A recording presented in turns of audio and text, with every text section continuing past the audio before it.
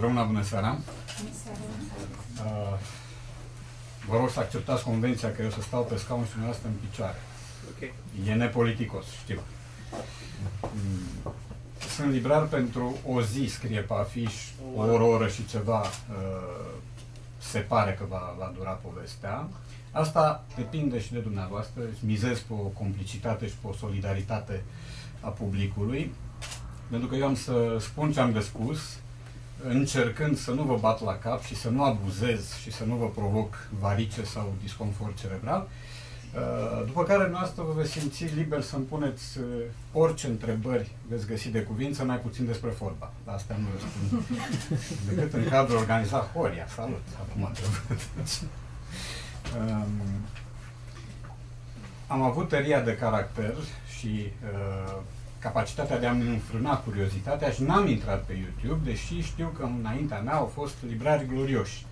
Uh, am văzut cine a fost înainte, cine a fost săptămâna trecută, i-am văzut și pe alții și am văzut și doamne uh, care au ocupat uh, scaunul ăsta, dar n-am vrut să mă uit ca să nu mă contaminez uh, și ca să pot să uh, dau o culoare specifică fără posibile contaminări. Acum, mi s-a pus destul de des întrebarea, mi s-au pus mai multe întrebări. Una, ce e librarul și cum îl folosim? Doi, uh, e bine să ai și alt comerț cu cartea decât uh, meseria de librar și așa mai departe. Fac parte dintre puținii, relativ puținii fericiți, care au trecut prin toate treptele uh, din apropierea cărții. Și anume, am fost la un moment dat uh, silit de o conjunctură, cei drept, să ajung bibliotecar. La început, într-un institut tehnic, ceea ce nu doresc nimănui, uh, aveam de-a face, eu sunt absolvent de filologie, deși câteodată nu par. Uh, aveam de-a face acolo cu reviste de transport, uh, pe care le conspectam, le prospectam și câteodată le mai și traduceam, ceea ce agăța la uh, pălărie și pana de documentarist. Deci documentaristul era cel care știa să traducă din engleză în română un text despre tipurile de triaj, sau despre tipurile de șină, sau despre tipurile de depou care există pe teritoriul Republicii Socialiste România, căci despre perioada aia vorbim. După un an și jumătate de penitență, când pot să-i spun altfel, în care uh, aveam de-a face cu reviste, uh, cu ciuperci, și din când în când cu câte un șoricel bine plasat, am trecut la o bibliotecă adevărată. Și anume la Biblioteca Națională, unde am stat fix 3 ani, de la 1 aprilie 90 la 1 aprilie 93. Și au fost ani în care uh, am învățat și să prețuiesc cartea ceva mai mult decât o făceam până atunci, dar câteodată să o și detest, să rămân. De ce să o detest? Pentru că uh, mi-a produs uh, neplăceri fizice. Eu am nimerit la Biblioteca Națională în perioada în care se uh, produceau tot felul de mari gesturi de solidaritate cu România și cu Revoluția Română. Printre ele, uh, transportul de carte din Occident în România. Unitatea de măsură devenise vagonul, vaporul, eventual containerul, doar în situațiile în care oferta era mică marile biblioteci din Occident uh, puneau la dispoziție ceea ce lor le prisosea. Noi preluam drept uh, lucruri minunate. Unele erau foarte bune și necesare, altele erau zgură. Ca un făcut, zgura era trimisă în 40-50 de exemplare, deci puteam dota, dota toate bibliotecile județene, ceea ce și făceam. Um, după trei ani de asemenea uh, îndeletnicire, am intrat în domeniul editorial la început la editura Olimp, nu știu dacă mai ține cineva minte la că știe cineva de ea, ajunsese la un moment dat pe locul 3 în clasamentul editurilor, în perioada 93-94, spe specializată într-o vreme în continuări de uh, opere literare. Continuarea de la Pe aripile vântului continuarea de la, la răscruce de vânturi. Eu am zis că este o editură cu profil eolian și că ar fi bine să căutăm și alte cărți în care apare cuvântul vânt, uh, ca substantiv comun, da? și să vedem dacă nu e posibilă vreo continuare. După 9 luni, o gestație, o sarcină, am trecut la editura Elit Comentator, care e o editură rebus din punctul de vedere al denumirii. Uh, eu am uh, atras atenția directorului că Elit în franceză se scrie cu E la sfârșit. S-a spus că sunt un prost și că Elit este o prescurtare de la editura pentru literatură și cu oricine ar trebui să-și dea seama. Bun, așa o fi fost. Uh, am stat acolo un an jumate și am ajuns la editura RAO. Dacă vă întrebați ce înseamnă RAO și ce divinitate exprimă, e un acronim care înseamnă Robert Anca și Ovidiu. de afaceri de familie. Așa. Uh, puteți controla. Am stat șapte ani. Orgolii române. Da. Și din februarie 2013 uh, sunt la Humanitas, unde probabil că am voi depune și dosarul de pensie pentru că nu mă văd plecând și n-aș avea motiv. Bun. Acum, uh, librarul, din punctul meu de vedere, este un om care ar trebui să aibă câteva aturi. Uh, unul să știe să recomande, ceea ce înseamnă două lucruri. Pe de o parte să citească mult, pe de altă parte să știe să comunice ceea ce a citit. Cele două mm, nu, sunt, uh, nu, se auto, nu se presupun reciproc. Poți să o ai pe una și să-ți lipsească cealaltă. Un librar uh, bun, frecventabil din punctul meu de vedere, trebuie să-l aibă pe amândouă. Există asemenea librare în România? Categoric da. În București, la Cluj, la Sibiu, la Brașov, la Timișoara, la Iași, cam peste tot pe unde sunt oameni cu sete de uh, carte, există și librari care își respectă meseria. Uh, asta, în mod normal, uh, e simplu. Ai o meserie, ce o respecti. Uh, sunt oameni care își respectă meseria în condiții vitrege, începând cu salarizarea, terminând cu diversi factori de stres care pot apărea și știți bine că apar într-o asemenea meserie, nu ultimul dintre ele fiind gestiunea. Uh, ei bine, un librar trebuie să lase toate lucrurile astea în spate și în momentul în care intră cineva pe ușă să-l întâmpine uh, cu aceeași cordialitate cu care l-a întâmpinat pe primul client din viața lui profesională. Asta nu e ușor de făcut. Uh, eu am întâlnit și genul de librar acru, uh, care te-ar vrea evacuat cât mai repede din librărie pentru că i-ai stricat o convorbire telefonică, pentru că și-a lăsat uh, gazeta deschisă la jumătatea articolului, pentru că făcea un rebus și i-ai stricat ploile, din diverse motive. Uh, librarul de care mie îmi place și pe care îl găsesc, repet, cam peste tot prin România și sunt convins că uh, numărul acestor librari va crește, este un librar, un librar conversaționalist, un librar fără prejudecăți și un librar care să știe să-și aranjeze uh, materia. E foarte important lucrul ăsta. Uh, e foarte important ca omul odată intrat în librărie, în librărie să aibă imediat harta locului. Să nu trebuiască să bâșbuie. Librarii talentați fac așa ceva. Acum se pune întrebarea. Dacă eu, librarul dumneavoastră, pentru o oră, aș fi pus să intru în pielea unui librar adevărat, aș ști să fac lucrurile astea? Pe unele da. Să organizez librăria în niciun caz. Deci aici v-aș prinde într-un labirint din care n-ați avea scăpare. Uh, condiția mea de lucru acasă e, dacă nu haosul, semi-haosul. Uh, îmi place să caut mult după lucrurile pe care, uh, de care am nevoie și pe care le găsesc la un moment dat când nevoia dispare. Uh, și în momentul în care cineva vine și îmi face ordine în ceea ce eu am uh, dezorganizat, uh, cum se spune, îmi strică feng shui Pauză de apă. Bun. Acum, uh, discuția asta presupune și prezentarea câteva cărți, pentru că un librar, evident, recomandă cărți pe care le-a și citit. Și uh, încerc să nu abdic de la regulile astea și să vă propun lecturi. Nu mai știu cum e politicos. Dacă e politicos să vă prezint două sau trei cărți de ale mele la început sau la sfârșit. Dacă o fac la sfârșit, până atunci risc să pierd din public. Uh, dacă o fac la început, risc să trec drept nesimțit. Prin urmare, după o judecată solomonică și un nod gordian în fața mea, prefer să fiu nesimțit. Uh, ok. Văd aici câteva. Am să încep cu, am să încep cu asta. Cu fluturile oricum negru. Veți, oricum veți fi criticat asta. Da, știu, știu, dar am să mă critic de eu. colegi de branșă. Sigur. Trebuie să fie vreunul pe viața cu talentul în buzunar. Mă aștept. Uh, Fluturile negru este o carte uh, care vorbește despre sentimentele de iubire patologică pe care le am față de Roma. Pe mine ăsta este orașul uh, cu majusculă și am spus într-un interviu, dacă aș fi măcar o zi președinte de României, ceea ce pentru binele dumneavoastră sper să nu se întâmple, uh, prima lege pe care aș da-o, sigur că o lege metaforică, ar fi că aș obliga pe fiecare cetățean să meargă la Roma și să stea acolo o săptămână.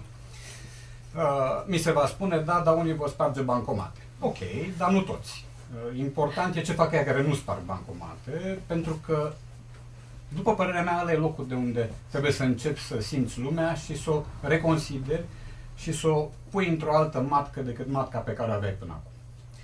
Și din uh, iubirea mea pentru Roma a prins contur uh, relația mea absolut improbabilă cu pictura. Eu sunt quasi flăcău în ale picturii, adică am un orizont extrem de limitat și uh, știu că acolo la Louvre e și Mona Lisa pe undeva. Și știu că la uh, Ufiții avem Botticelli și avem uh, Leonardo și avem Idoreni și așa mai departe. E, uh, Caravaggio este singurul pictor uh, care mi-a dat un frison. Eu neavând organ poetic, uh, pictural, dar uh, clarobscurul acela și trăsăturile uh, uh, celor care apar în tablouri uh, m-au făcut să simt că acolo mai e ceva. În afară de duritatea expresiei, în afară de lugubru, în afară de clarobscur, în afară de tematică, să cred că mai e ceva. Și așa am plecat pe urmele lui în Roma, e adevărat. Nu m-am dus în Malta, deși poate ar fi trebuit, nu m-am dus în Palermo, deși poate s-ar fi cuvenit. N-am ajuns la Napoli, unde a existat un Caravaggio furat, nu știu dacă știți. Furat uh, la comandă, la punct, cum se fură cărți la Gaudeamus, se fură tablouri în Italia. A fost furat prin 1960 și ceva pentru o familie de mafioți. Ce surpriză! Și uh, familia de mafioți a pasat tabloul. Și tabloul la circulă de câteva zeci de ani de la o familie de mafioți la alta. Nimeni nu mai știe la cine e de fapt. Poliția are autoritate de numai până la un punct. Cert este că tabloul n-a fost ars, n-a fost vândut, nici n-ai cum să vinzi așa ceva. Uh, și el este în continuare acolo. Și ăsta ar fi un foarte frumos subiect de carte. Uh, subiectul meu în carte este Fluturile Negru, un tablou pe care Caravaggio nu l-a pictat pe care am zis eu că ar vrea să-l pictez.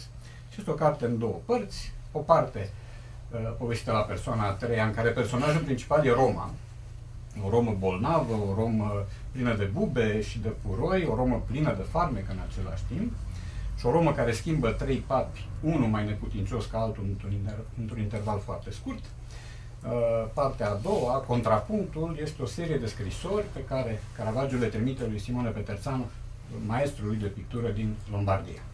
Sigur că sunt niște scrisori pe care nu Caravaggio le-a scris, ci eu, și prin aceste scrisori am încercat să intru cumva în condiția lui lăuntrică, în comerțul pe care el l-a avut cu Dumnezeu, în, uh, să, să pătrund dincolo de coaja aceea tabloidă. Caravaggio a fost un pictor perfect tabloid. Cel ar fi fost un om de OTV, la ora asta, sau de canal de, grozav, invitat mai, mai mult ca Leo. Uh, pentru că era de toate, cuțitar, bandit, afemeiat, avea toate viciile, avea toate formele de decădere, în același timp avea geni. Asta e Fluturile Negru. Uh, și o carte care cred că n-a ieșit rău, nu știu, mai, mai mult uh, nu-mi vine să spun. Tot aici aveți cu inima smulsă din piept. Este o carte despre Portugalia și despre o relație în Portugalia medievală sau post-medievală mai degrabă, uh, un fel de Romeo, Romeo și Julieta ale Portugaliei. Uh, relația dintre Inés de Castro, o prințesă spaniolă, și Pedro, zis uh, Pedro cel drept, care, spun istorici, era de fapt cel dement. Uh, în perioada aceea, uh, derapajele și formele de comportament accelerat fiind, după cum știți, frecvente. Uh, e o carte care a fost scrisă oarecum la cerere. La cererea cui? La cererea Ioanei Părvulescu. În 2008, când apare cartea, Ioana Părvulescu încă se ocupa de colecția memorabilă, de altfel, cartea de pe Nokia. Și a cerut câtorva prozatori să scrie o carte cu dedicație pentru cititorii acestei colecții. Întâmplător, uh, m-am dus în Portugalia, tocmai venisem, de fapt, din Portugalia și rezolvasem niște probleme cu frica de avion. Am prins un zbor cu escală, evident, ca să mă vindec bine. Uh, și văzusem Coimbra. unde exista uh, un decor simulat al perioadei de secol XIV.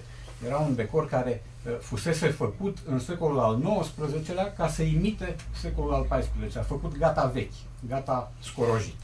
Și unde se găsea și fântâna dragostei, uh, din care curgea un păriaș și pe păriașul acela Inies de Castro îi trimitea scrisori uh, iubitului ei. Bun, uh, cartea n-a fost rău primită și spre bucuria mea i-a făcut o impresie foarte bună lui Ruizin, care e unul din scriitorii portughezi foarte buni.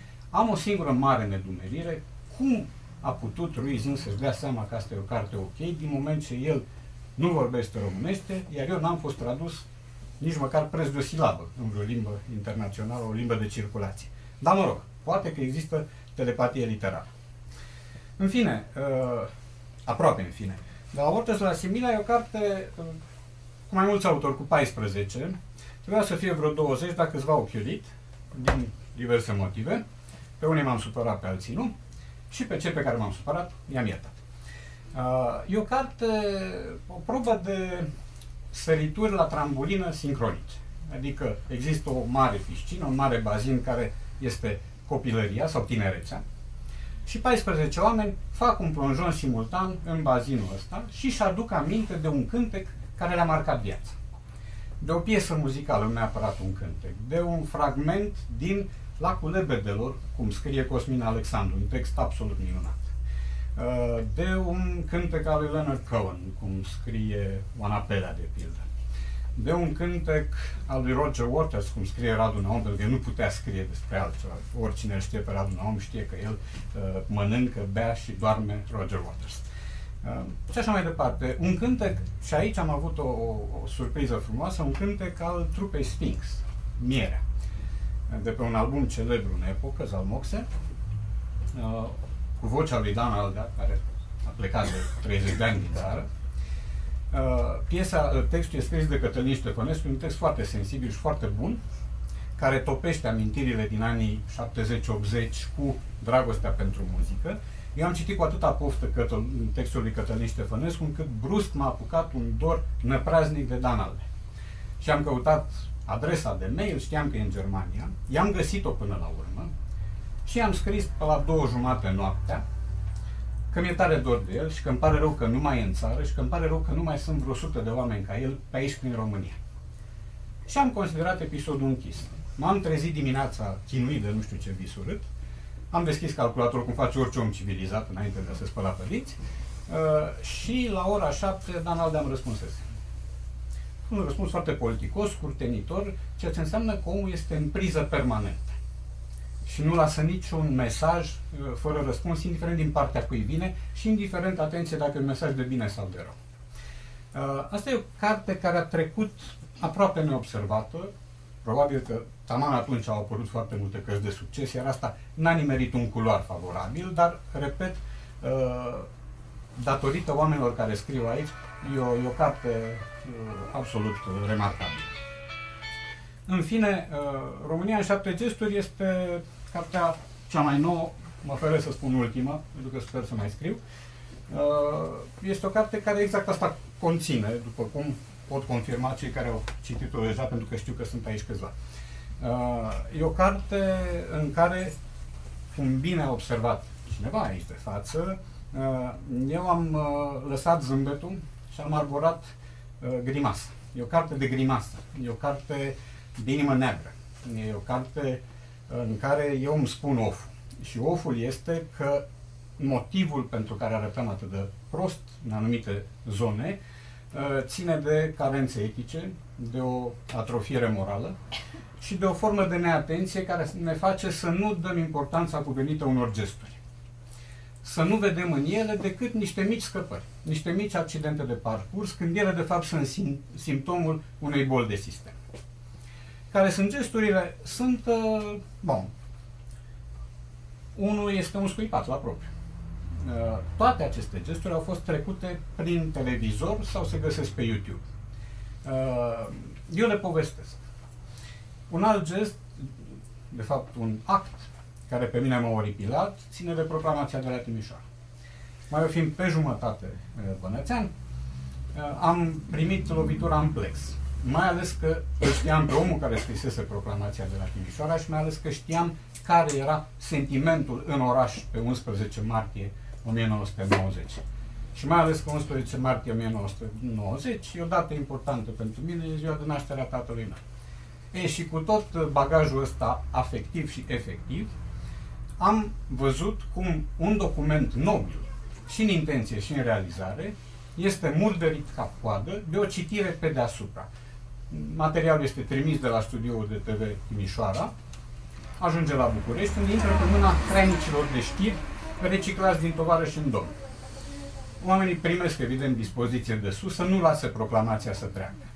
Să o prezinte pe post, pentru că nu e așa, suntem în televiziunea română liberă și suntem în democrație, dar să aibă grijă dumnealor să nu se audă nimic din ce citește George Sherman. Și nu se aude nimic.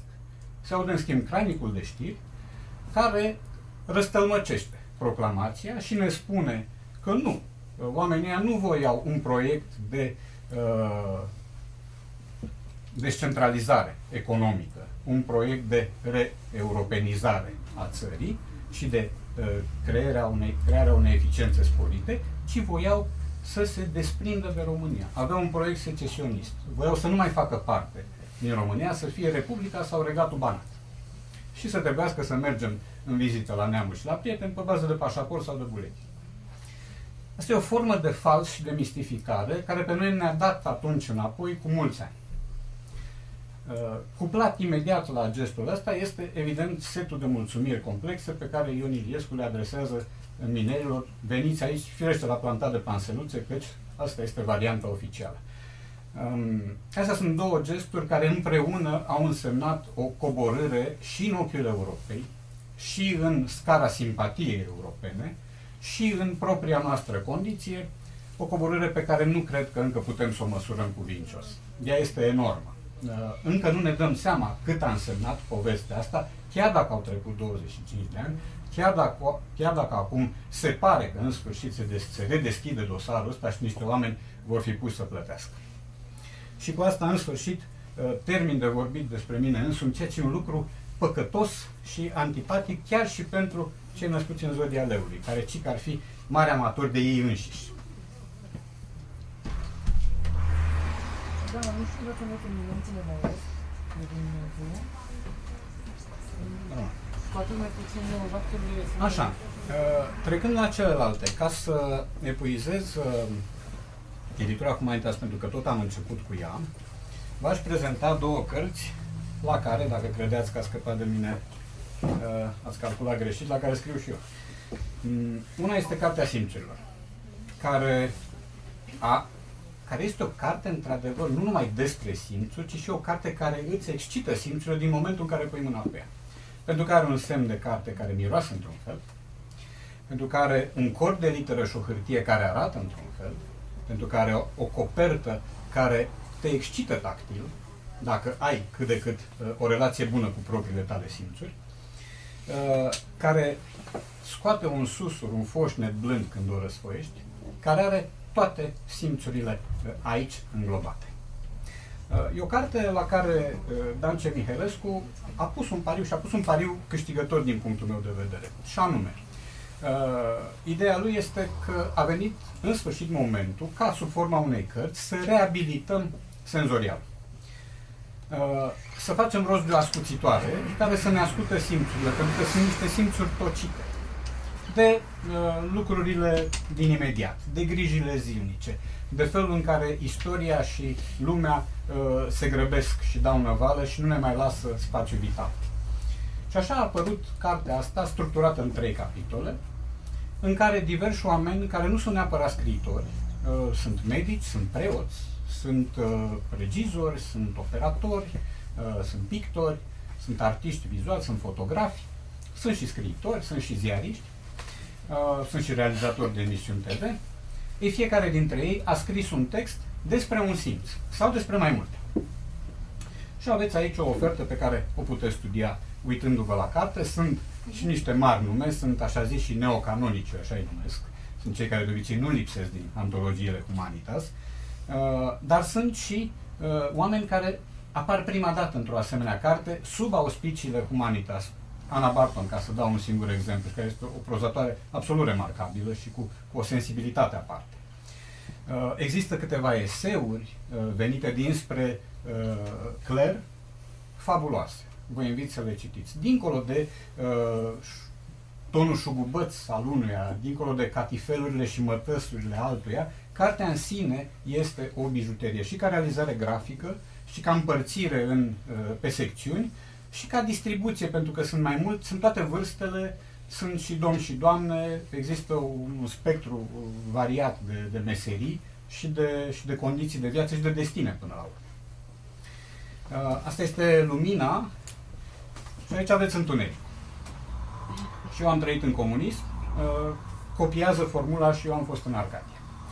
Este o carte pe care Ioana Pârvulescu o coace de mult și a copt-o împreună cu 95 de oameni, unii iarăși foarte cunoscuți, alții așa și așa, iar alții oameni care nici măcar nu se cunosc direct cu Ioana Pârvulescu, sunt din țară, sunt din tot felul de oraș, au tot felul de meserii. S-a dus însă vestea, uh, a existat așa un fel de grapevine care a făcut uh, vibrații și oricine a avut o amintire, o întâmplare, o pățanie, i-a trimis-o Ioane. Ioana a făcut o muncă sisivică, nu, titanică. Uh, a asamblat totul în așa fel încât cartea să poată fi citită ca un roman, în așa fel încât textele să se confirme unele pe altele. Există efectul de eco în această carte. Anumite întâmplări povestite de X sunt relatate ceva, nu știu, peste 20-30 de pagini de Y, care confirmă și care, cu alte formule, în alte fraze, în alt registru, pe alte tonuri, spune aceeași poveste într-o lumină diferită. Condiția acestei cărți a fost absența ideologiei și a ranchiunii. Este o carte scrisă fără partipriuri, este o carte scrisă fără dușmănie. Deși uh, foarte mulți dintre noi știu exact cum era pe atunci, pentru că au prins vremurile acelea. Când aveai lumină, când nu aveai apă, când în principiu nu aveai. Deci era perioada în care nu aveai. Tu ce mai faci? Eu nu am. Ce nu ai? Păi asta, asta, asta. Uh, ei, totul este să știi să transmiți informația. Să o transmiți celor care au trecut prin perioada aia și care poate au uitat, deși frumos e să nu o uiți, să o transmiți celor care n-au prins perioada aia și care trebuie să știe totuși despre ce a fost vorba în frază. Mai ales că există uh, părinți uh, hiperprotectori față de copiii lor, cărora le spun, lăsați mamă mai bine să nu știți. Pare rău, nu sunt deloc de acord cu varianta asta de, cu rețeta asta de viață. E bine să știi. Bine să fii informat, să știi că aici acum 30 de ani se petreceau orori.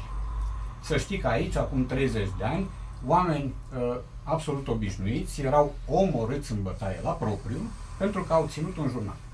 E bine să știți că a existat un Gheorghe Ursu. E bine să știți că au existat voci astupate. Uh, e, lucrurile astea însă n-au fost puse așa cum vi le spun eu acum. Ele au fost puse dezinvolt și în absența afectelor. Ele au fost obiectul unor relatări, unor reportaje de viață, prinse de Ioana pe 20 de capitole de viață curentă. Mersul la medic, mersul la muncă patriotică, sunt foarte mulți care nu știu ce e aia. Uh, viața romantică, mâncarea și băutura, concediile, uh, orașul, transportul, tot felul de lucruri, telefoanele. Telefon, exista cuplaj telefonic, lumea nu mai știe. Că ridicai receptorul și auzeai pe cineva vorbind deja și la auzeai, deveneai curios, să nu e ceva da, picant, da. merită să mai asculti și la un moment dat când vedeai că discuția terminează, spuneai, doamne, dar mai închideți că aștept un telefon de la mătușa din Târgoviște. Dar ce te bagi, de ce ești indiscret? Și de aici apăreau tot felul de dialoguri care uh, duceau lucrurile în altă direcție. Deci primul dialog se suspenda și apărea un dialog cu alt interlocutor și exista un fel de spirală de asta suprarealistă pe care o înțelege mai bine doar cine a avut așa ceva. Eu am avut. Um, în fine, uh, mai trebuie spus despre cartea asta că este o idee uh, pentru care Ioana a pierdut kilograme, cred, și o idee susținută și de efortul fotografic al lui Emanuel Tenjale. Emanuel Tenjale este unul din mari fotografi și fotoreporteri ai României, plecat din țară de mulți ani, el trăiește în America.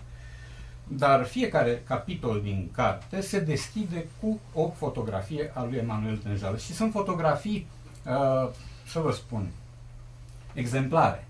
Una este cu un troleibuz, nu mai știu ce număr are, un troleibuz de prin anii 80, care venea cu câțiva ciorchini de oameni pe toate scările.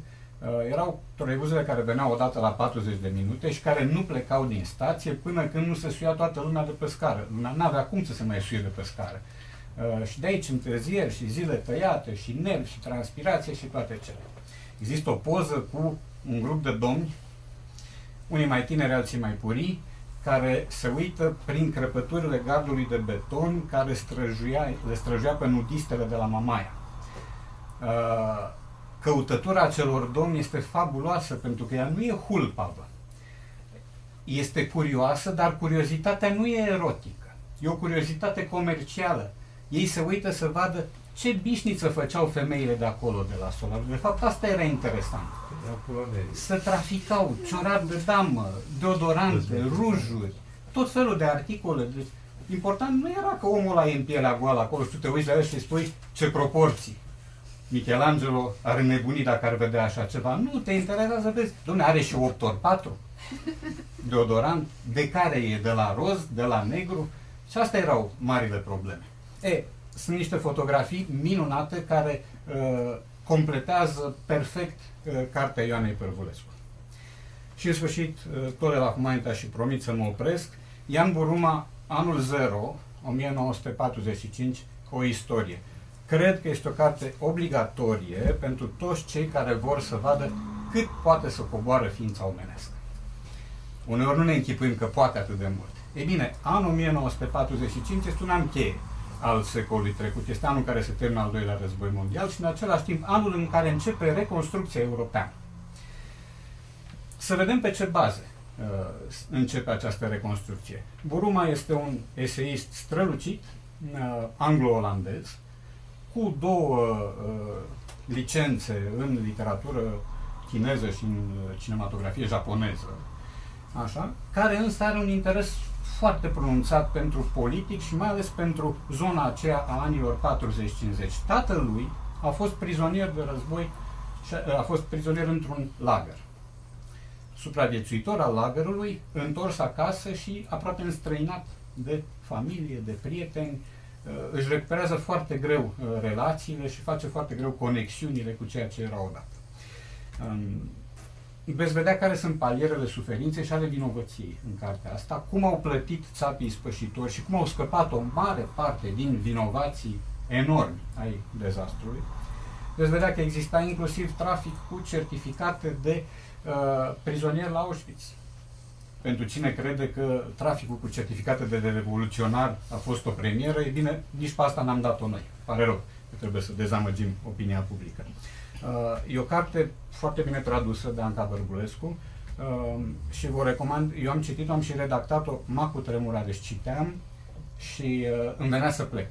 Să plec, să las o zi, două, trei, n-aveam timp să fac gimnastica asta, să vin, să reiau, să mă nec din nou, să plec din nou și să mă întorc.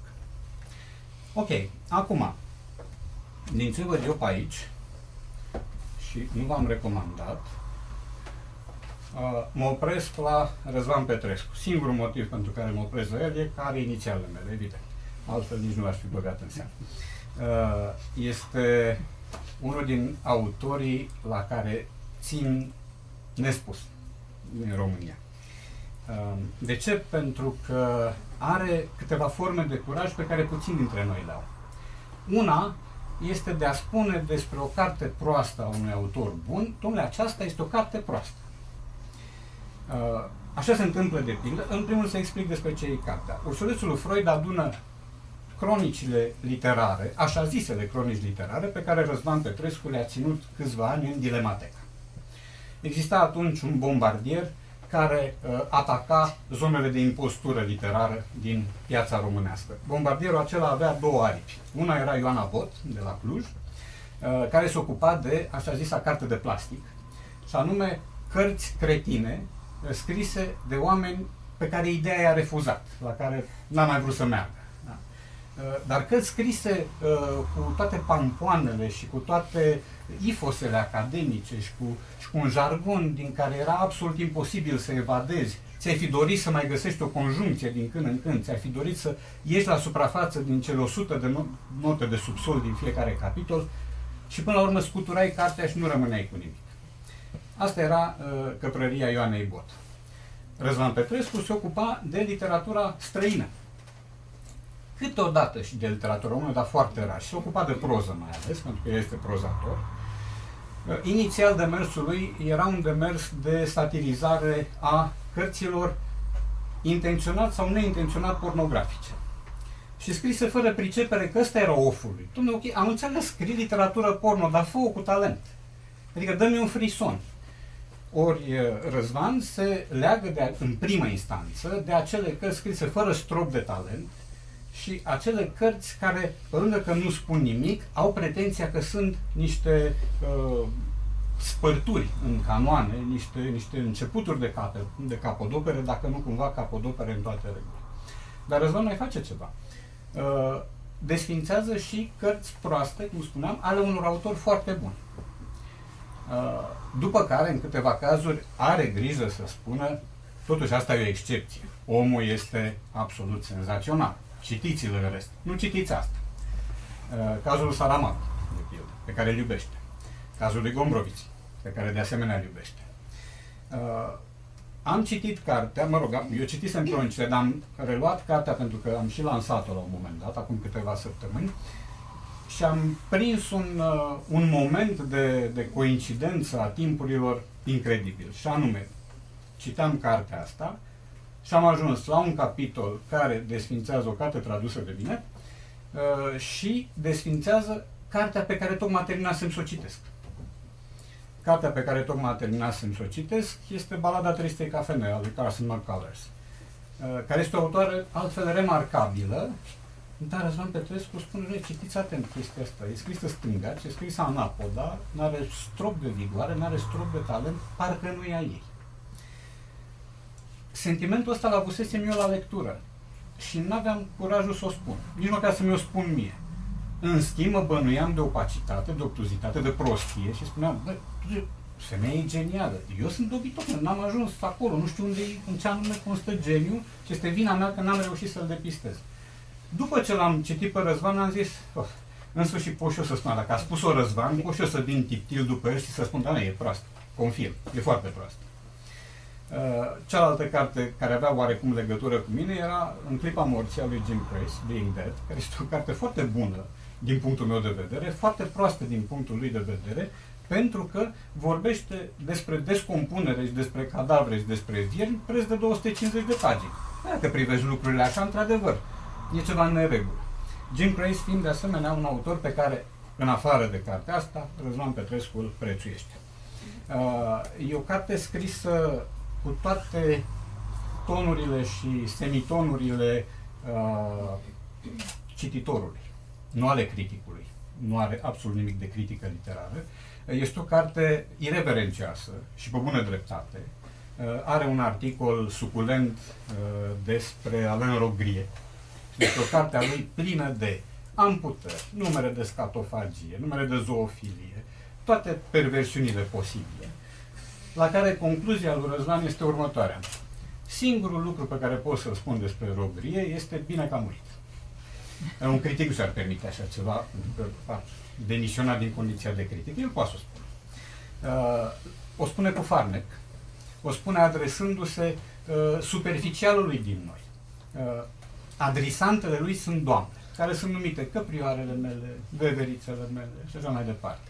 Pentru că el spune la un moment dat că îi plac veverițele, într-o carte, iar în altă carte spune că îi plac murele. Sigur, nu se adresează cu murele mele, că nu e uh, cel mai, cel mai merită formulă, dar, uh, repet, este un foarte bun exercițiu de oxigenare împotriva prejudecăților. Pentru că noi avem foarte des uh, tendința de a judeca o carte în funcție de prestigiul autorului. A cui e? A lui X? Nu dau nume. A, păi înseamnă că este nemaipomenită. O citești, vezi că nu e nemaipomenită, că la jumătate vezi că e chiar proastă, după două, trei îți vine să nu mai termin, dar e a lui X. care știm că este perfect în tot ce face. Ei, cartea asta uh, demitizează tipul ăsta de, de autor și cred că este o injecție bună pentru cei care uh, vor să-și uh, adecveze alte instrumente de citire. Și acum, eu mai făcusem o listă, aha, asta, care este din București și povestirile, și poveștile lor, a lui Cătălin de Constantin. Cătălin de Constantin e un personaj, e profesor, își dă acum al doilea doctorat, are deja un doctorat, și și-l dă pe al doilea cu o teză despre piețele publice din Europa. Deci pare o temă minunată. Adică eu mă și vedeam în Siena, în piața de campo, acolo, tolănici citit. Este un om al uh, ideilor uh, transpuse în practică. Poetul spune orice idee, idee aplicată e un înger căzut. El nu crede în versul poetului și bine face. Și are câteva roade deja care se găsesc în librării. Una este Străzi vechi din București de azi, al lui Alexandru Ofrin, care este o carte îngrijită și propusă de Cătălin de Constantin, cu care am fost coleg la Humanitas acum vreo 8 ani. O alta este o serie dedicată bisericilor fortificate și mănăstirilor din Moldova. Una dintre ele chiar cu comentariile istorice ale lui uh, Neagu Giubar. În fine, tot el este editorul volumului Îngeri Zmei și Joi Măriți. Un volum de uh, mitologie populară pentru copii. Este o lucrare de luat acasă și de nedat nimănui cu împrumut. De ținut acasă pentru copiii noștri și pentru noi. Este o carte pentru toate vârstele. E bine, uh, omul mai are o pasiune și anume fotografia. El se ipostazează singur în condiția amatorului. Fotografiază pentru că îi place. Aici suntem în dezacord 100%, eu nu fotografiez pentru că nu-mi place. Și nu-mi place să fiu fotograf. Nu asta știți. Deci. Um, mă gândeam că o să avem un problemă în seara asta. Da, nu, nu o să, nu. Nu o să stau cu spatele, doamne. Interesant e să mă audă ceilalți, nu eu. Uh, fotografiază cu ochiul diletantului, spune el, eu aici sunt tentat să nu-l cred, să-l bănuiesc de falsă modestie, și uh, obiectul uh, pe care pune camera este fereastra din clădirea veche. Din case coșcovite, de pe străzi din București de altă dată, de pe străzile unde forfotea boema literară din interbelic, Uh, case nobile, case scorojite, case decăzute, case bine întreținute, case cu perdele sau fără, case cu arcade de piatră sau de lemn, uh, ferestre. Sunt câteva sute de ferestre, de fotografii, pe care Cătălin le ia și le distribuie mai multor cunoștințe, prieteni, oameni care au ce spune și ce scrie. Și oamenii aceștia uh, își aleg, eu cel puțin am avut uh, posibilitatea să-mi aleg, și anume nu una, ci trei ferestre, și scriu un text. Textul ăsta poate să însemne un catren, cum face Neagu Giuvara, poate să însemne două fraze, poate să însemne jumătate de pagină, poate să însemne o pagină. Există iarăși oameni uh, mai puțin cunoscuți decât s-ar cuveni, oameni care scriu absolut remarcabil, și există oameni uh, cunoscuți, notori, spuneți-le cum vreți. Unii sunt actori, alții sunt avocați, alții matematicieni, ziariști, ingineri, uh, procurori criminaliști, blogări, editori, regizori, de toate. E o carte uh, bună de făcut cadou, sigur, să apropie sărbătorile. E un cadou foarte frumos pentru că te reproiectează într-o lume uh, de acum 60, 70, 80 de ani. Uh, îți dă uh, cartea asta 200 de semnături, dintre care cel puțin 100 sunt semnături de uh, oameni cunoscuți și ai ocazia uh, să vezi ce te vede, cum spune Alexandra Rus. Să privești ce te privești. O plăcere, repet.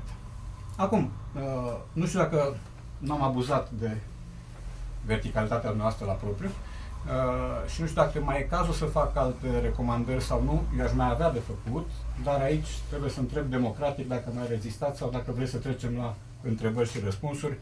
Mai rezistăm vă, cu drag. Sau să vă, sau să vă consider de asta suntem aici doar. Da. Bun, ce ar mai fi? Uh, v-aș mai recomanda un autor uh, foarte cunoscut în America, și nu numai în America, în toată lumea de fapt, J.R. Noring. Uh, el a apărut, uh, cel puțin în România, a apărut pe post de autor, de fapt, autor din umbră al autobiografiei lui Andrew Agassi, care cât e el de bun nu putea să scrie așa. Și J.R. Moringer îi, îl ajută să-i scrie autobiografia, o autobiografie scandal în care el recunoaște că s-a dopat, că le-a făcut pe toate, uitându-te la el și amintindu-ți-l de acum 20 de ani, îți dai seama că nu era un, uh, un rigorist, da? din potrivă. J.R. Moringer scoate după aceea The Tender Bar, Dulcele Bar s-a tradus la noi, uh, o carte care a făcut ravagii în proza românească. Deci toți prozatorii români care au citit-o, sau aproape toți, au căzut ca spice. Cosașu, Filip Florian, uh, Agopian, Bogdan Alexandru Stănescu, toată trupa de la Iași, uh, autorii români publicați de Polirom, Teodorovici, toți, toți, toți au zis, domnule, ăsta este nemaipomenit, Andrei Crăciun și așa mai departe. Uh, cartea, într-adevăr, e, e o carte a devenirii unui copil care crește în America și trece prin toate bolile de copilărie și de uh, maturizare, pe una. Iar după uh, The Tender Bar, care apare la Publica, dacă nu mă înșel, anul ăsta, pe la începutul anului, sau iarna trecută, uh, editura 3 scoate romanul Satan. Ce este, cine este Satan? Willie Satan. Este unul dintre cei mai mari, sau cel mai mare spărgător de bănci din istoria Americii. Și este un personaj de care te lipești imediat. Noastră știți probabil, știți în mod sigur din filme, că personajul negativ fascinează. Dacă filmul ar fi compus numai din scufițe roșii și feți frumoși, v-ați duce în parc, sau la plimbare, sau ați da pe Digi, unde m-ați vedea pe mine vorbind despre Dinamo. Uh, de aceea e bine să ai personaje negative ca să nu ajungeți la mine. Mm. Satan este un, uh, un spărgător altfel decât ceilalți, din mai multe motive. În primul rând că vine și își comite delictele în perioada marii crize din America, în care băncile îi sărăciseră pe depunători și obligaseră să se arunce pe geam. Și atunci cine fură de la bănci este prietenul poporului. Și uh, Willie Sutton devine un fel de mascotă populară, devine un mit, un, un personaj prețuit, iubit, cu cât spargerea e mai mare și paguba mai importantă, cu atât statuia lui se dilată. Asta pe de-o parte. Pe de altă parte, uh, Sutton este un spărgător non-violent. Este un om de o bună creștere desăvârșită. Este un om care procedează respectuos cu toată lumea, inclusiv cu cei pe care îi buzunărește. Este un om care nu te-ar atinge cu o floare.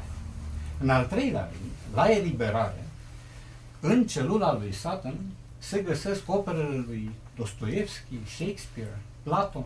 Deci omul asta făcea în, facu- în facultate, zis bine. Ceea ce ne dorim să da. Uh, și este atipic în tot ce face și ajunge să fie un personaj cult care devine protagonistul unei cărți cult. Este o carte scrisă cu frenezie, scrisă. Există cărți scrise cu foamea de a scrie, cu, cu nerăbdare, cu poftă uh, și pe care le citești simțind vibrația aia bună a textului, simțind temperatura optimă a textului. Așa se întâmplă cu, cu Moringer, care cred că despre orice ar scrie, uh, ar putea să, să dea capodopere. Este un, un om cu o forță de mobilizare a cititorului, cum am întâlnit în foarte puține rânduri. Pe urmă, uh, v-aș recomanda de la Nemira o carte pe care am recomandat-o și la Digi24, Jumpa la Hiri, uh, Distanța dintre noi. Jumpa la Hiri e un personaj la rândul lui curios. Este o scriitoare cu nume bengalez, născută în Anglia, plecată la 2 ani în America și stabilită la Roma, uh, unde trăiește o bună parte a anului, pentru ca în cealaltă parte a anului se mute înapoi în America, unde Barack Obama a Uh, propus-o pentru Comisia de Umanioare a președinției. Uh, distanța dintre noi este o saga de familie uh, care pleacă în, din anii 60. Este povestea a doi frați care seamănă între ei fizic, dar nu mai fizic. Unul este subversiv, implicat în atentate teroriste, confis, confiscat de un partid al naxaliților, un partid de extracție maoistă, el ajunge să facă parte dintr-o celulă teroristă, ajunge să participe la uciderea unui polițist și este la rândul lui ucis. Și aici intervine fratele lui, un om așezat, cu minte, bun, prin excelență bun, nu e în stare să facă rău, care își asumă cauza tuturor și care își asumă și destinul fratelui ucis. Destinul însemnând soția lui, care urma să nască. Deci el preia o jumătate de familie și o duce cu el în America. Și toată cartea este un dute vino între America și India și o încercare de a arunca punți peste valorile țării uh, de origine și valorile țării de adopție. E greu de făcut uh, baletul ăsta, însă Jhumpa Lahiri e un, e un mare stilist, un om care uh, a luat Man Booker Prize și uh, are, are arta de a povesti o temă oarecum aridă, o temă pentru care îți trebuie talent, îți trebuie fie uh, luxurianța lui Rushdie, care scrie și el despre India și Pakistan și Kashmir, fie stilul ăsta mai ponderat, dar foarte nuanțat, foarte uh, velute, cum zic francezii, uh, o proză așezată, sensibilă, uh, pe care o citești fără să dai seama că ai ajuns la sfârșitul cărții. V-aș mai spune despre noile ediții din uh, ciclul Narnia. C.S. Lewis e iarăși un autor uh, cu multe laturi și cu multe unghiuri.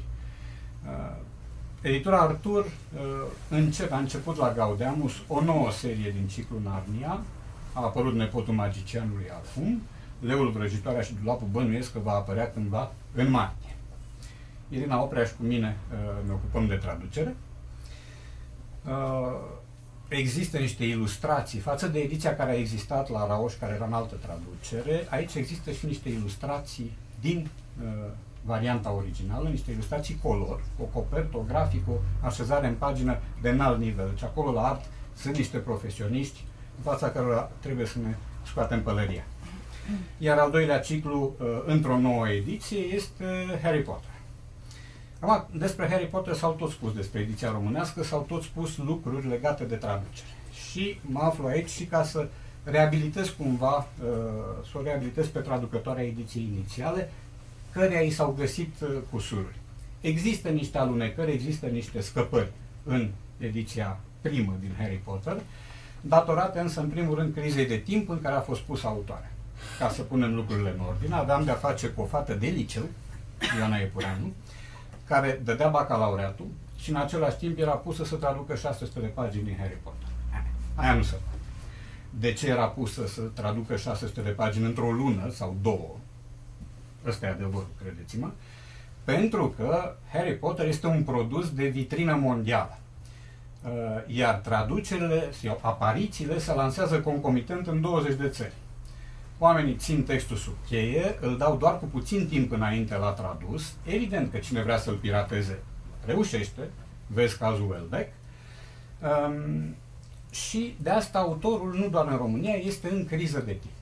Așa că principalul vinovat nu trebuie uh, confundat cu traducătorul acestei cărți. Uh, Ioana a făcut atât cât se putea face. Eu mă mir că a reușit să rămână întreagă după uh, cele șapte volume și după un examen de bacalaureat și unul de facultate, date în aceeași perioadă.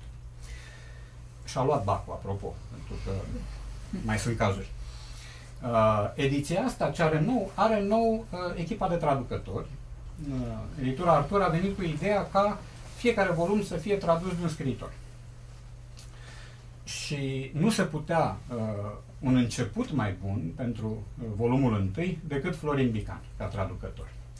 Cine nu-l știe pe Florin Bican, îl poate descoperi nu doar în această uh, ipostază de prim traducător din, al volumului 1 din Harry Potter, ci și din alte câteva cărți, una dintre ele lansată la uh, Gaudeamus.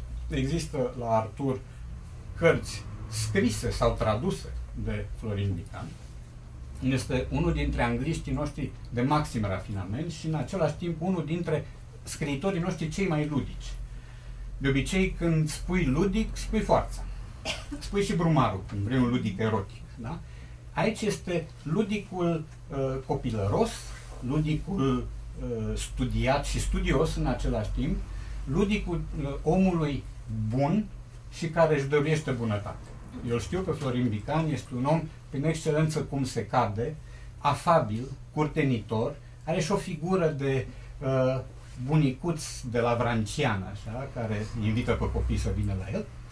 Uh, și este un uh, performer de limba engleză, cum nu sunt mulți la ora asta în România și vă spun unul care e cât de cât în interiorul fenomenului. E bine, Harry Potter uh, este volumul întâi dat pe mâna lui Florin Bican și a apărut iarăși în condiții frumoase de tot. Uh, La volumul 2 am impresia că traducătoare este Adina Rosetti, sper să nu fac o confuzie, dar cred că am zis bine. La volumul 3, e bine, e rău, nu știu, o să fiu eu. Și de la volumul 4 încolo nu mai știu, dar știu că îi se face o curte asiduă lui Mircea Cărtărescu pentru unul dintre volume.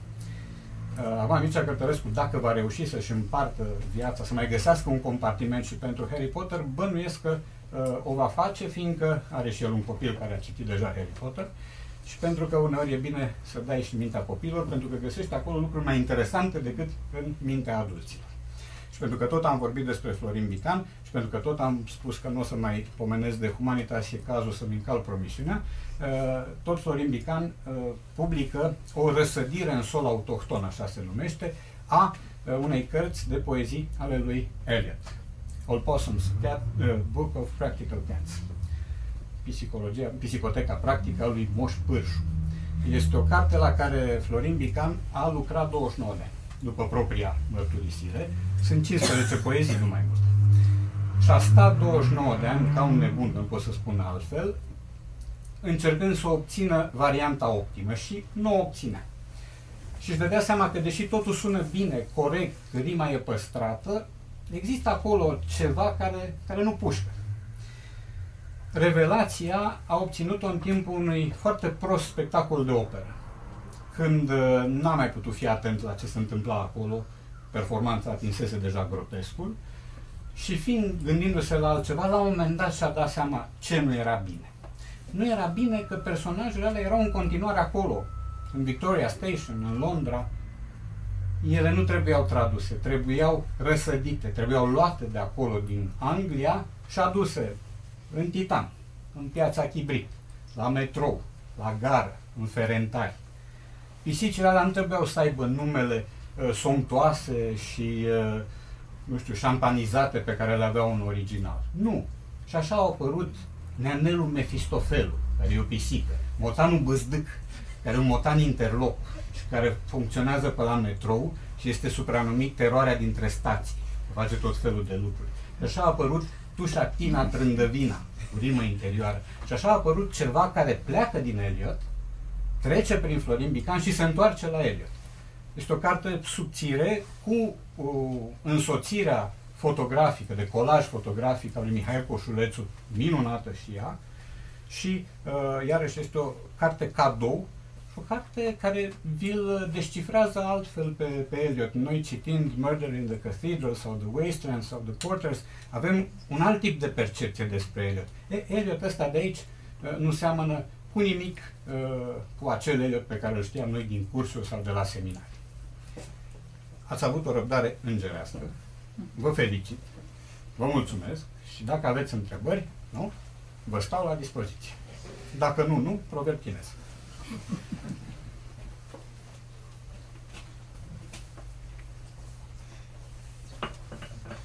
Mi-am amintit ceva prezența cu librarul și spuneați că librarii să fie personaje așa. N-ați trăit anii 80 de început în București, când era un fenomen la cartea românească, era Mm. expresia de Domnul afară Nedelțu. din curte, unde era Mircea Nedelțu, Da, da. și cealaltă unde era cu degustare cu Iaru, Mhm. și unde avea poezia pe care nu vrea să o aducă și zice, asta trebuie dat, gustată. Da. Și gustatul era foarte interesant, pentru că trebuie veneau uh, să ia carte de acolo, apărea și la ala. Veneau prietenii și asta îi cunoșteam și cu iar eram într-o relație destul de apropiată, adică uh, întâmplător, dintr-un gest pe stradă. Și insista foarte mult să stăm la o cafea și la să mai discute ce să ieșim. Era o situație ingrată, ei ca filologi nu-și puteau permite să stea într-un sătuc nu știu unde și preferau Uh. statutul de librar Cunosc varianta, pentru că am uh, tratat cu ei, ca să zic așa. Deci eu am cumpărat prima ediție a jurnalului de la Păltiniș de la Mircea Nedelciu, care era Ah. librar acolo. Îl mai aminti și pe domnul Georgescu. Și pe domnul De George la era ăla un fel am de... ceva, da, o era, un, carte era care... un pic uh, peste... Cred că Da, era... organigrama, cum să zic, pe organigrama era superiorul. Da. Mai era Nu, și el- Dan Stanciu, de El la era Dilema, cu tot acolo. calificare profesională, așa, Da. dar un om care iubea cartea. Știu. Am o carte care am zis, îmi pare rău că asta aș vrea să o facă vreun fel să fie publică, dar nu pot să guste pe asta. O ediție bibliofilă la Bacovia, la Da. Plumb. Am versiunea care este Mhm. în mătasea aceea Ah, frumos. superbă și erau prețurile. Și Da, azi mă uh, minunez. acum- 12 lei, un volumaș atât, 20 de pagini, hârtie era gri, în el pe plumburiu ăla era semnătura lui Bacovia albă și cu o literă un cafeniu spre gri textul.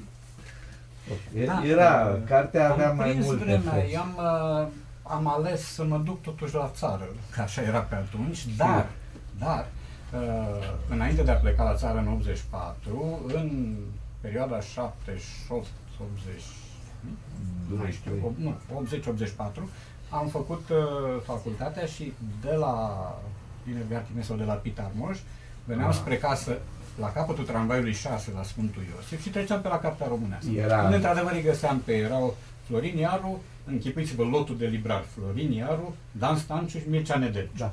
Deci erau Ah, librarii, da. cine nu știa, Și vedeai pe toți, venea Vișnic, veneau da, veneau toate normal, valorile da. literaturii. Câteodată coborau la subsol când aveau lucruri mai importante de discutat, Dezbătut. așa, de dezbătut, cu cifră octanică sau etilică mai mare.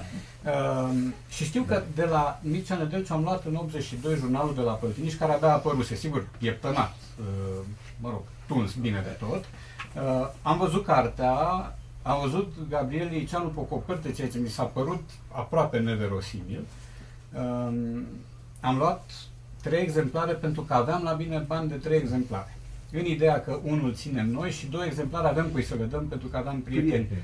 uh, amatori de așa ceva și țin minte, ca și cum ar fi fost ieri, că Mircea Nedelciu mi-a zis, ia-le acum că mâine nu le mai găsești.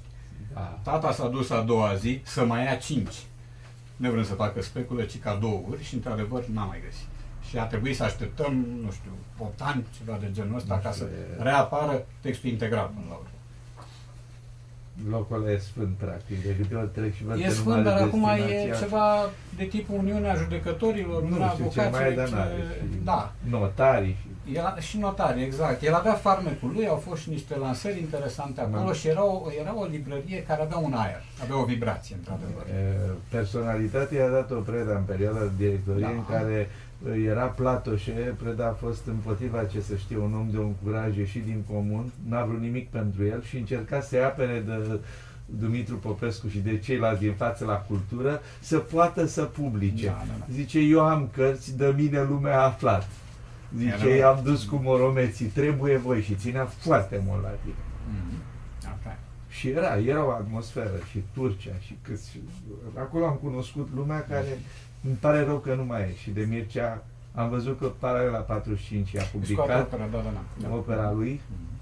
Se zice foarte bine. nemeritat, n-a avut șansa, s-a încercat totul, asta a fost. Da. Asta a fost ghinul viețului și Da, am, da, da, da. a terminat până nici la jumatea drumului. Așa e. Asta în vecinii generații. E, Întrebare Da, așa, Horia. Radu, dacă se poate. Da. Uh, Ce carte citești acum? Cartea cu care ai plecat în dimineață în metro? Salman Rushdie. Cel mai nou, Salman Rushdie.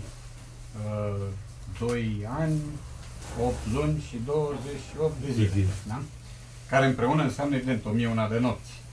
Uh, știți o carte la care abia am ajuns la prima treime, e uh, Rushdie, uh, nu e Rushdie cel din rușine și cel din versetele satanice, e mai degrabă Rushdie din seducătoarea din Florența, sigur, cu o întindere un pic mai, mai concentrată, dar e tot așa o, o plăsmuire, un amestec de fantastic și real, cu grădinari care levitează, cu gini care ies din sticle, cu duhuri, uh, cu toate ingredientele, tot cocktailul ăsta de luxurianță și de fantezie uh, de tip Rushdie. Asta o citesc, acum. apar de mult, uh, țin de mult să, să o văd, o tot vedeam anunțată de Polirom și am găbjit-o săptămâna trecută, mi se pare că a apărut, a apărut la Gaudeam, de fapt, acum vreo două săptămâni, am luat-o și asta citesc acum. Aș doua întrebare e legată uh, de faptul că uh, există și o uh, distribuție virtuală de carte și dacă ai accepta invitația de la Elefant uh, sau de la Amazon, pentru că și acolo sunt librari. Okay, Da, nu sigur. discută cu dronele, dar uh, Da, da. selectează și ei uh, Mhm. uh, niște cărți și, uh, desigur, uh, întrebarea vrea să uh, aibă de-a face cu ce spune despre Salutăm uh, piața inițiativa. de carte virtuală. Ok, sigur, sigur. Vedeți că marcă depusă, le sabotăm inițiativa, Da. nu, mai, nu mai trecem pe stradă. Și n-au auzit. Eu le-am propus domnișoara altceva, când o să fie sezonul acum merge, dar să închidem strada cu acordul primăriei, să facem o cafenea literară.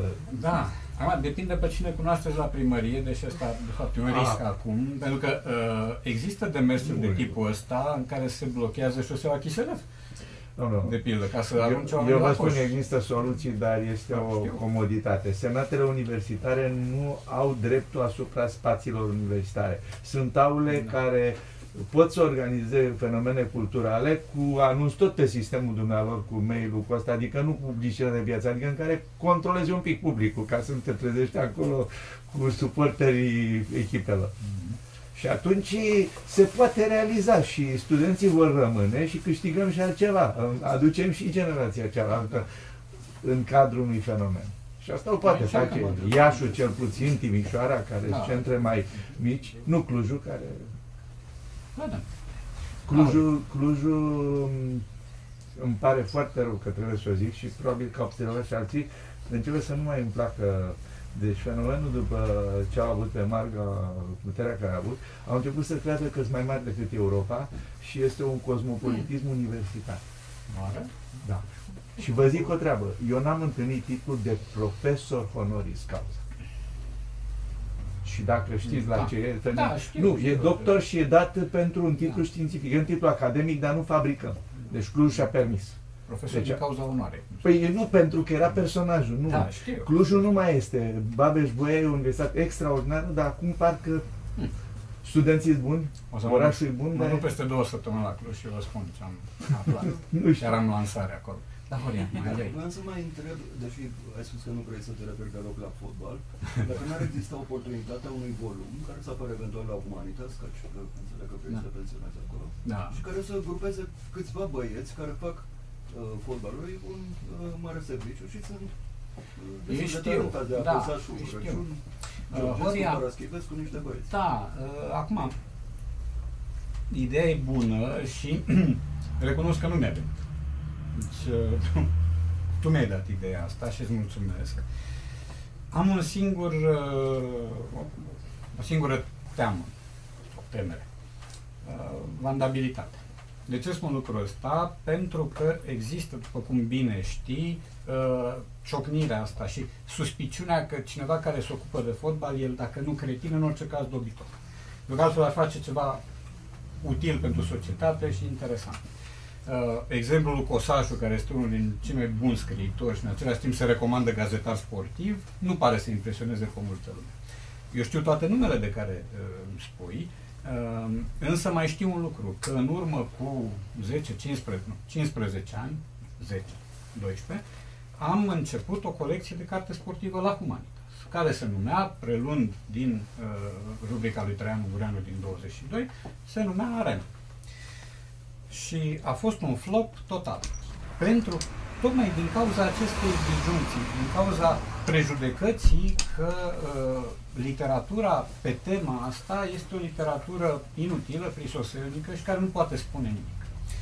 Uh, judecata asta o fac de obicei cei care n-au trecut niciodată pe acolo. Uh, pentru că dacă ai trecut prin cartea lui Traian Ungureanu, de pildă, vezi că manifestul fotbalist nu e o carte de sport.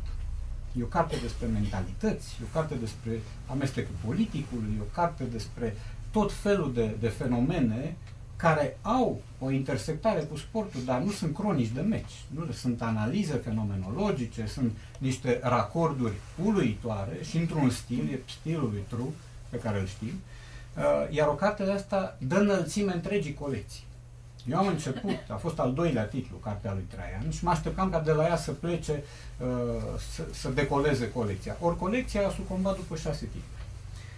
În condițiile în care unul dintre autori era Cristian Tudor Popescu, care știe să scrie despre sport, poate că acolo titlul n-a fost cel mai nimerit, că, numindu-se Cartea Sportul Minții, lumea a crezut că e vorba de șah.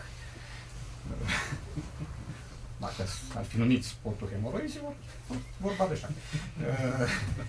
Era mai mult despre alte lucruri, tot așa, atingând tot felul de tare de comportament, de prejudecăți, uh, de gesturi uh, neplăcute. Uh, Cartea mea n-a adus nimic în plus acelei colecții, a adus ceva în minus, și anume prezența, mutra mea pe copertă, ceea ce era o, un element de repulsie, eu având 20 de kg în plus pe vremea aia și o apariție de hangiu depășit de evenimente. Așa. E, uh, cert este că nu erau texte rele. unele dintre ele al lui Traian era fantastic. Deci ăsta e cuvântul. Eu, eu nu mă entuziasmez așa ușor, mai ales în prezența autorilor români care uh, scriu altceva decât proză de largă respirație. E, la Manifestul Fotbalist au fost pagini la care am plâns.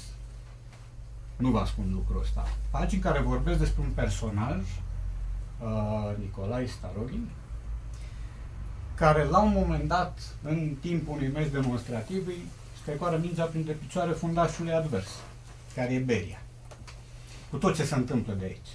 Sunt scrise atât de filmic și atât de sensibil și cu, cu atât de, cu o respirație atât de viforoasă și în același timp de caldă, încât nu spui că aia este o carte de tematică sportivă, decât dacă ții neapărat la insectarul ăsta. Asta e o carte despre gutui, asta e o carte despre ștampile, asta e o carte despre, nu știu, viermi de mătas. Uh, și de asta spun, am o, nu numai eu am o reticență, uh, mă gândesc că s-ar putea ca și Gabriel Liceanu să aibă o reticență, să-și aducă aminte că uh, acea colecție n-a, n-a avut uh, detenta pe care o preconizam noi. Dar altfel, da, mi-ar plăcea, adică să i-am pe toți oamenii pe care i-ai spus, plus încă 2-3, nu știu, Andrei Crăciun, mai sunt, uh, Tolo dacă o putea, că el are multe pe cap, el acum este, el a luat forma unor dosare, da, este, investigator. este între niște coloane de hârtie așa, care îl copleșesc, o să cadă pe el la un moment dat, dar ce face, el face bine, că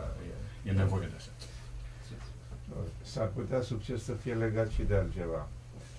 Este Humanitas numele, dar ea deja și-a prezervat o zonă și are lucru, singur lucru negativ vis-a-vis de Humanitas, adică uh, are o ținută ușor elitistă, adică e, e undeva distantă și criteriul comercial trebuie să-l revadă. Da, eu vă Este o dau editură niște- excesiv de scumpă. Vă nu dau are niște titluri realizări elitiste, dacă îmi dați voie. Unul pentru este public. Manualul Conservelor de Casă, un titlu un extrem elitist.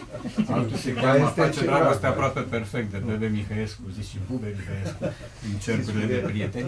Uh, Lumea da, da, eu, sportul în altă parte. Ar trebui să Da. o faceți, sau să faceți o editură, apropo, Humanitas uh, Media sau ceva, adică să, da, să fie alta. Există multimedia. Nu, Humanitas să fie, să multimedia. fie altceva unde să se ducă un public, pentru că altfel Da, eu nu știu, uh, acum depinde uh, ce înțelegem prin elitist. Dacă prin elitist înțelegem ceva uh, cu un pic de ifos, cu un pic nu, de nu, nu, ștaif, nu, nu, nu, nu, atunci din da. contră. Dar uh, nu cred că suntem elitiști câtă vreme avem cărți de la Nick Hornby, la Eric Știu. Emanuel Schmidt și de la...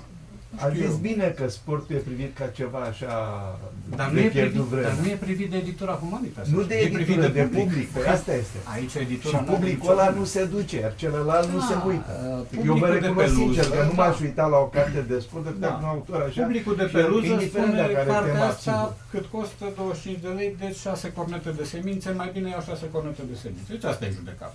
Uh, nu poți risca. Am făcut o, o, un risc la primul titlu, am, am riscat și am scos un tiraj enorm, mizând pe numele autorului, mizând pe faptul că era primul titlu din colecție și a fost un eșec. Uh, iar eșecul ăla pe noi ne-a, ne-a pus în gardă, ne-a, ne-a avertizat. Ah, sigur că există argumente. Nick Hornby a scris o carte, Fever Pitch, tradus greșit, febra stagioară, nu asta înseamnă. Uh, este o carte despre viața lui. Un jurnal de suporter care își jalonează toată viața în funcție de meciuri. Deci el s-a îndrăgostit prima dată când Arsenal i-a bătut pe Bolton Wanderers. Dar mai important e că Arsenal i-a bătut pe Bolton Wanderers decât că el s-a îndrăgostit. Uh, Eduardo Galeano, care a murit acum câțiva ani, mare scriitor uruguayan, unul dintre cei mai mari. Camiu a fost portar, o echipă de fotbal, până la urmă, Monterlon. A practicat și fotbal și rugby. Uh, am văzut, și am mai spus lucrul ăsta, am văzut pe, la, la francez, pe vremea când prindeam o emisiune cu Bernard Pivot, o emisiune cu mari scriitori. Trei. Vă dați seama cum arată un, un studio în care Bernard Pivot este anfitrionul, iar musafirii sunt Umberto Eco, Salman Rushdie și Mario Vargas Llosa. Acestea erau toți patru acolo. Audiență de ordinul milioanelor, evident. Da? Și vorbeau despre ultima carte, despre turneu, despre politică, despre... Erau foarte pătrunși. Până când Pivot întreabă la un moment dat pe Rushdie dacă se uită la fotbal. Și Rușdi face o mutră de om bătut cu leu ca și spune, eu sunt membru cotizant la tot, am pus în mâna. Păi îl cunosc pe Alan Sugar. L-am cunoscut pe nu știu care, pe ăla, pe ăla, vă spun date din istoria clubului. Eco zice, păi stați, stați un pic, eu sunt piemontez. Eu țin cu Juve de când și începe o lungă istorie a lui Juventus. Și Vargas Llosa a lăsat la urmă că el se pregătea să ia Nobelul și ce eu am dat lovitura de începere la Real Madrid de câteva ori. Sigur că sunt soțiu acolo, am carnetul numărul, nu știu, 2, că numărul 1 era papa. E, uh, și de acolo au lăsat oamenii literatura și s-au ocupat de fotbal vreo jumătate de oră. Și erau Eco, Rușdi și Vargas Llosa. Așa că sunt zone care se întrepătundesc. Cosaș a avut o definiție foarte bună. Sportul este uh, expresia corporală a culturii. Și eu cred că îl putem credita. Da? Mai sunt? Nu mai sunt? Da. Mai mult personală. Da. Am avut o polemică în ultimul timp uh, vis-a-vis de uh, proza scurtă la noi și în Europa. Aș dori o părere autorizată în ceea ce privește evoluția ei Da. și Polemica nu cred că ați avut-o cu mine, nu? Nu, nu, nu mi-aminteam. Și, um, acum, există o reabilitare a prozei scurte în ultimii ani, așa cred că se prezintă lucrurile, nu numai în Europa. Să ne gândim că avem recent un Nobel pentru proză scurtă, Alice Morrow, care, într-adevăr, o prozatoare foarte bună. Um, la noi se judecă în continuare, greșit după părerea mea, că proza scurtă este modalitate, este antrenament. Și așa cum iese fotbalistul la încălzire, își dă din mâini și din picioare, își face tumbe, așa scriitorul scrie întâi niște nuvele ca să-și facă mâna și ca după aceea să treacă la lucrurile serioase, adică la roman, ceea ce fac. Pentru că există oameni care au trăit aproape exclusiv din proză scurtă, și în America, și în Europa. Părerea mea este că e un gen subevaluat de editorul din România și poate și din alte țări, dar nu cunosc. Aici, în mod sigur, e subevaluat. Și subevaluarea asta vine, fără să dau vina pe public, vine din part, dinspre public. Pentru că publicul are acest tip de judecată cantitativă. Cât costă cartea? 32 de lei. Și ce are? A, proză scurt. Asta se termină repede.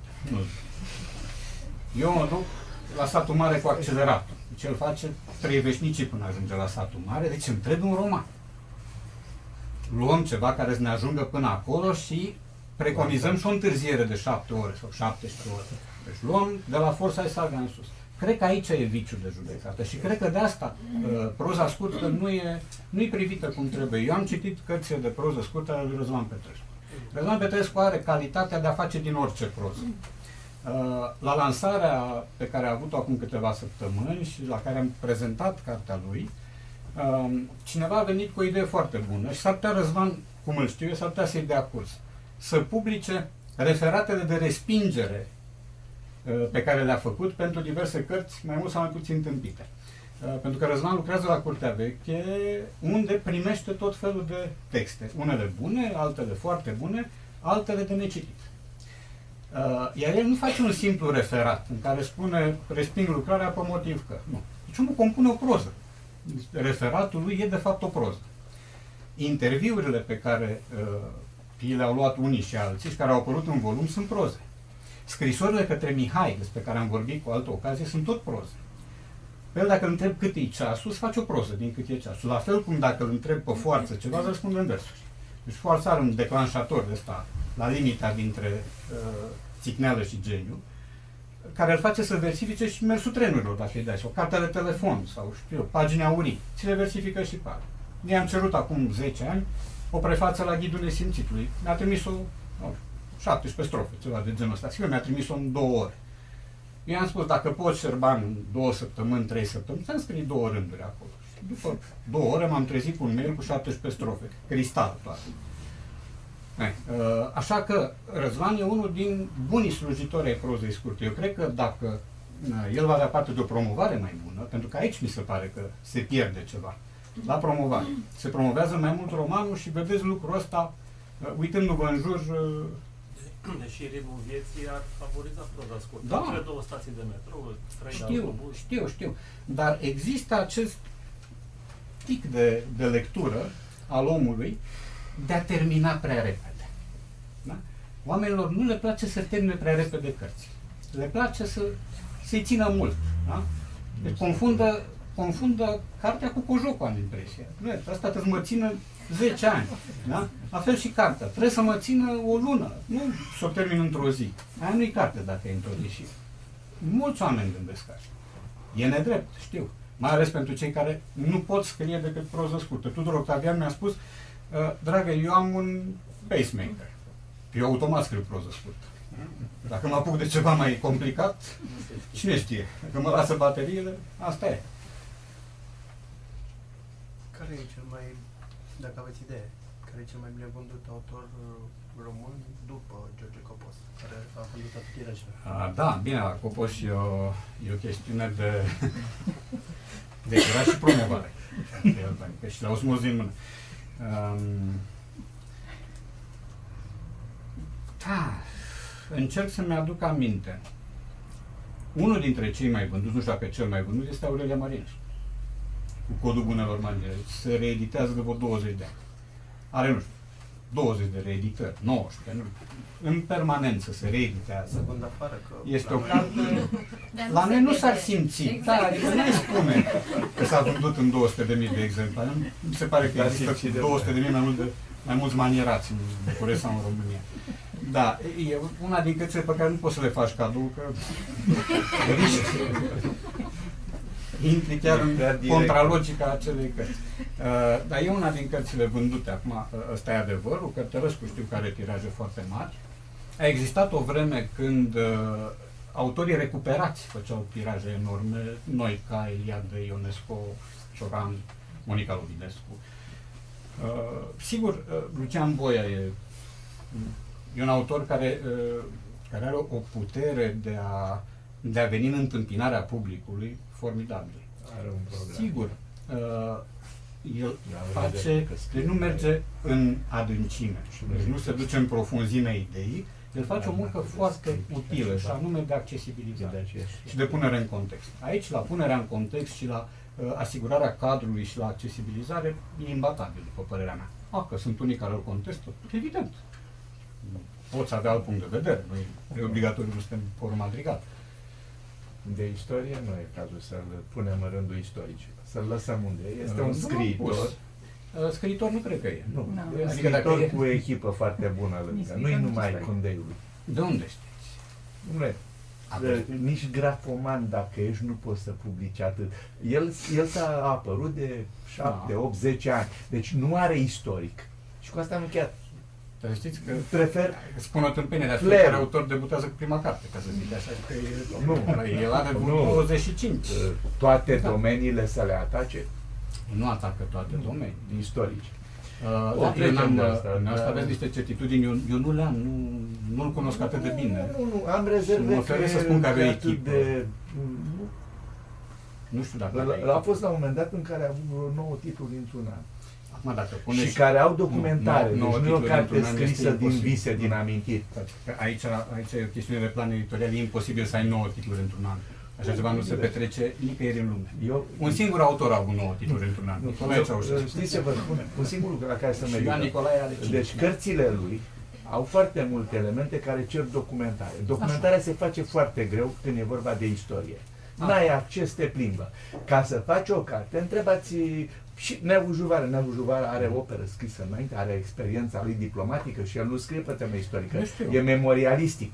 E cu totul altceva. La Eu vă Boia, scot de acolo și din e draft păcat niște că cărți istorice istoria, ale Neagu istoria Juvară, să o inclusiv lăsăm istoria povestită istoricilor. pentru cei Nu. tineri.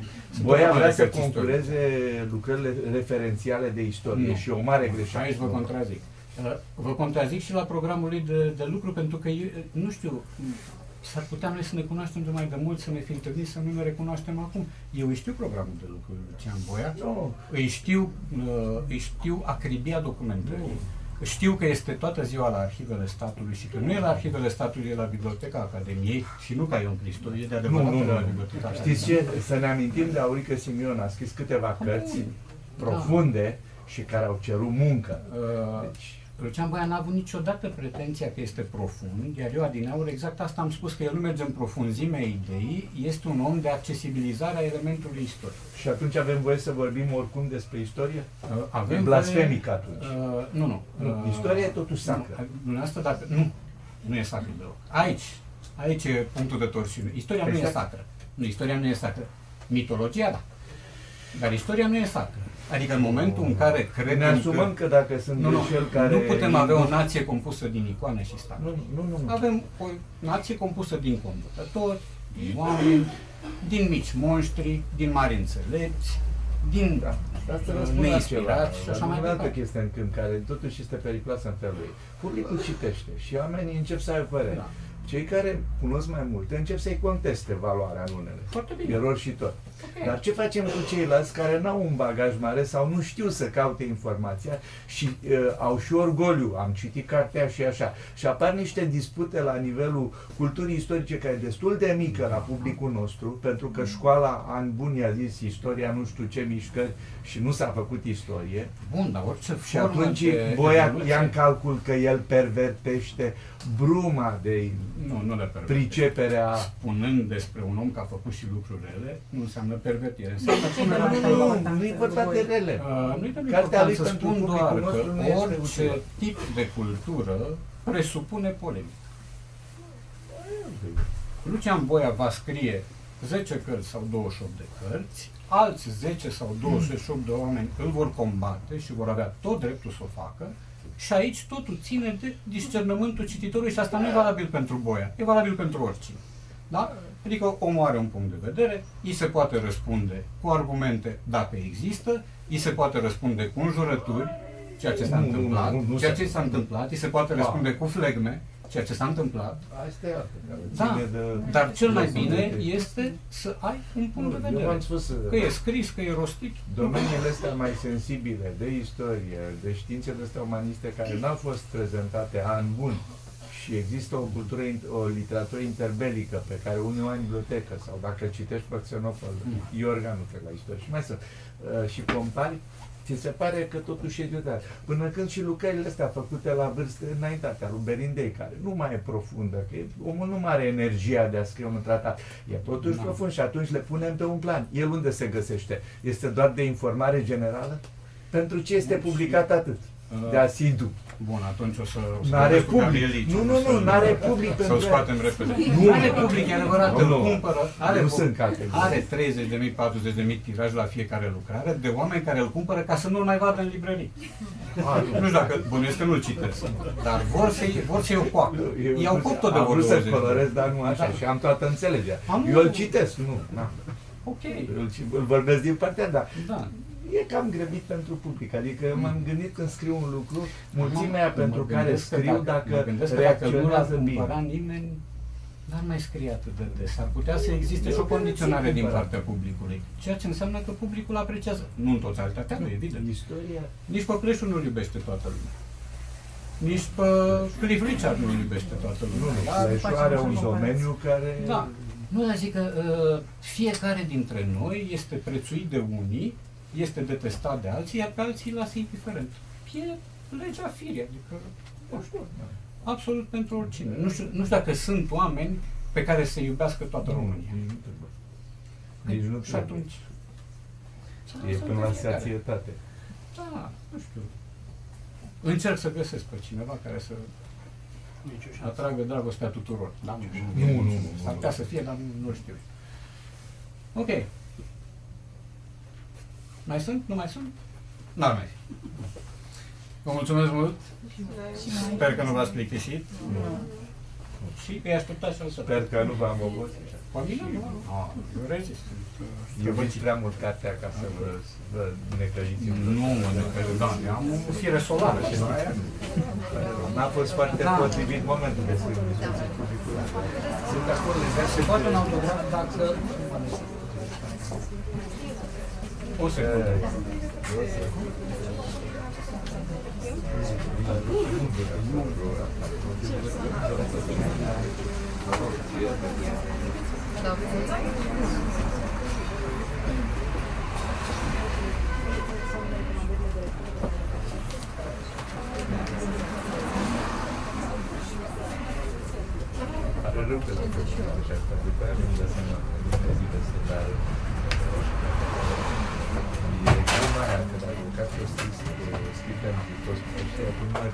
să scrie prea mult prea mult drogat.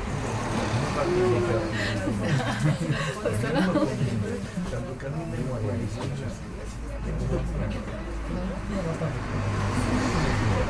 Știu și eu, eu sunt omul care stătea în bibliotecă și citea 10 ore pe zi. Dar aia puteam să fac să stăm două apă, duceam la și am lucrat în domeniul mult mai științific, text. Și să spărești sute de Asta pentru și această istorie bună, unul care preia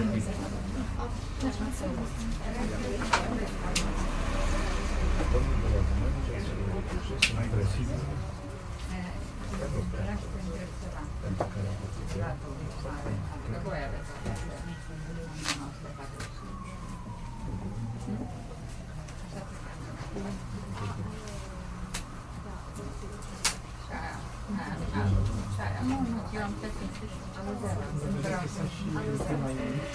că